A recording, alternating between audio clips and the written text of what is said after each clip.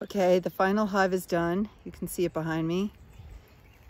Here's the one that's to the west. I don't know if you can see. This is the one to the east. This is the middle one. I did it last. I think everything on is on is on correctly. I'm a little nervous about it, but I'll check it one more time.